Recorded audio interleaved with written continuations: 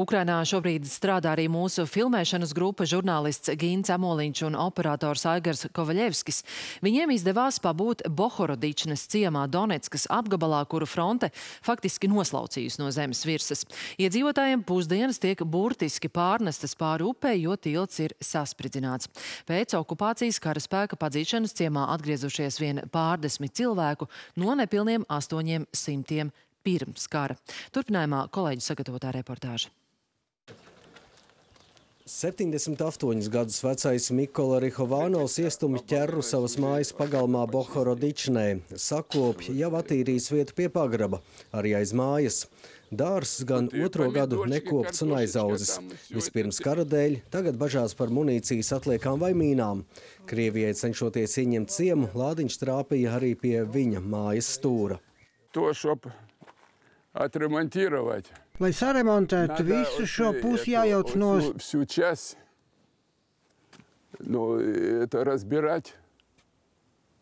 Потому что от Jo этого no отошло. trieciena te viss ir atbīdījies. Nu, un caurums Nu, tas šo- pats par sevi. Дырка с, с, само с собой.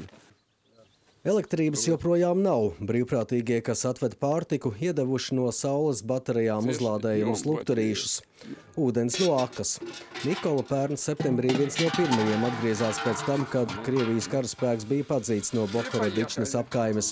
Pirmajā reizē kaut kā ticis cauri Ukraiņu kontrolu poftenim, kas brīdināja braukt tikai pa ceļu, uzmanoties no munīcijas atliekām. Tikai uzmest aci mājai. Tā bijusi sestdiena. А уже у понеділок я їхав. Не пустили мене. Bet pirmdien, kad atkal braucu, man vairs nelaid. Gāja apliņš pār laukiem. Atnāku, bet te karavīri. Prasa, no kurienes tu uzzīmējies. Es saku, ja jūs mani izvedīsiet, es tik un tā atnākšu atpakaļ.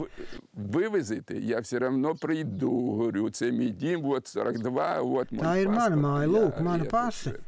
пишу это. Viņi Nu, bažījās par боялись to, ka чого. varētu būt Може, spiegs, тут, izliekoties par якийсь vietējo. špijон там Taču, ja под видом saprot, этого. ka es А так, savējais, если tad против nekāda этого. problēma. Свой, ну какие проблемы? Никаких. Ja kas nepieciešams, Mihola brauc arī uz Slovjansku ar velosipēdu 2,5-3 stundas vienā virzienā. Tur viņš arī pavadīja mēnešus, kopš devās prom pagājušā gada maijā.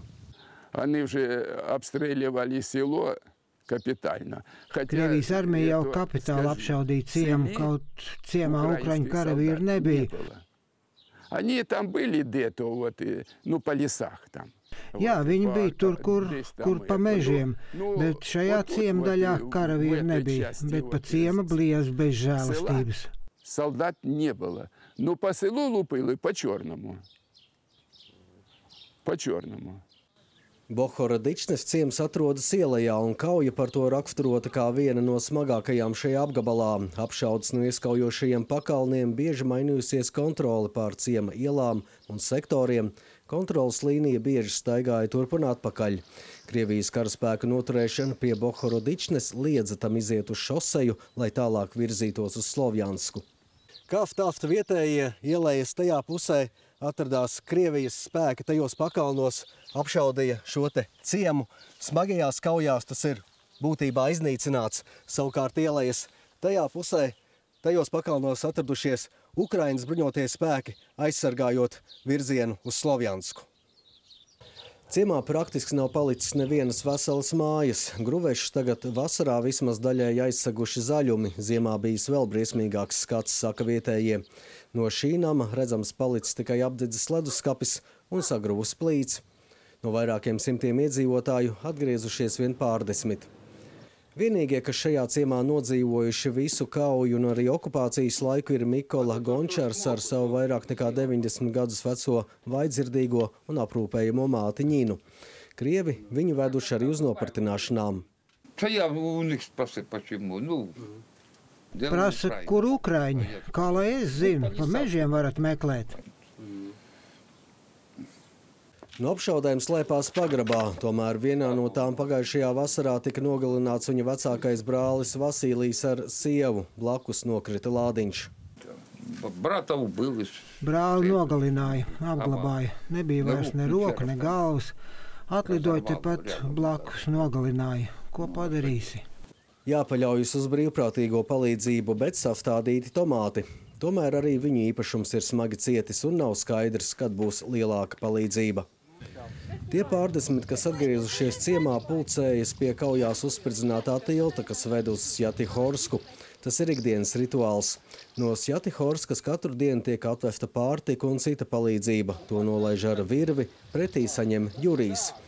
Kaftas jādabū šaipus upei. Mikola viņam lejā nes garus makšķerēšanas zābakus, lai Jurijs kā parafti pārtika varētu pārnest pāri upes ūdeņiem. Šoreiz to izdarīt gan Naska piesakās divi vietējie jaunieši.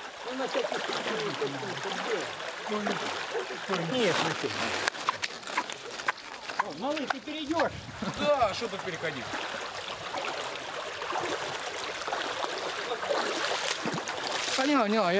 Ziemā, kad līmenis augstāks, tika izmantota laiva. Šoreiz kaftēs esot 24 porcijas - rīsi, salāti, arī sviestmaizes. Tas viss tiek sadalīts starp ciemiedzīvotājiem. Вода, конечно, в колодцах у нас есть, это самое. Вы сами видите, что электричество. Ūdens no akas, kā redzat, elektroapgādes vēl nav. Ceram, ka drīz to atjaunos. Domāju, ka mūsu ciems nezudīs un tajā ieguldīs. Solīja it kā tiltu uztaisīt uz rudens pusi. Bet kā būs, viss būs atkarīgs no frontes situācijas. Arī Mikola cer uz tiltu atjaunošanu, jo tafciemam ir dzīvības artērija. Работы много. Ну, я думаю, подолаем. Darba daudz, bet domāju, ka viss izdarīsim un viss būs labi mūsu Ukrainā. Esmu par to pārliecināts. Citādi nemaz nevar būt. Я в этом уверен. По-другому, ну, никак не может быть. Никак. Fronte no šejienes 35 km un ciemā cer, ka drīz tā atbīdīsies vēl tālāk. Gins Amoliņš, Aigars Kovaļevskis, Latvijas televīzija no Bohorodičnes Donbasā, Ukrainā.